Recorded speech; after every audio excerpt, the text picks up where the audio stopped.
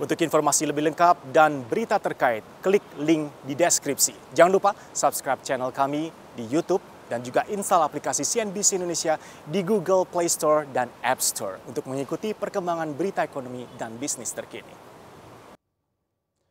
Saham Coca-Cola di New York Stock Exchange berpotensi kehilangan kapitalisasi pasarnya hingga 4 miliar dolar Amerika Serikat atau setara dengan 57 triliun rupiah imbas insiden kecil yang dilakukan mega bintang Portugal Cristiano Ronaldo.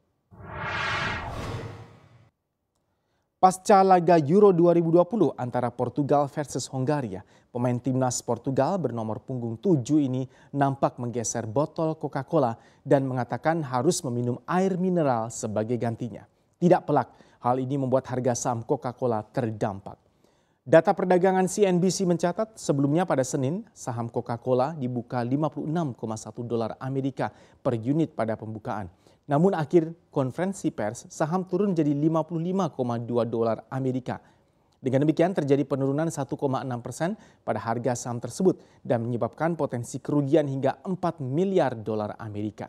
Namun saat ini kapitalisasi pasar Coca-Cola masih mencapai 238,35 miliar dolar Amerika Serikat atau setara dengan 3.408 triliun rupiah.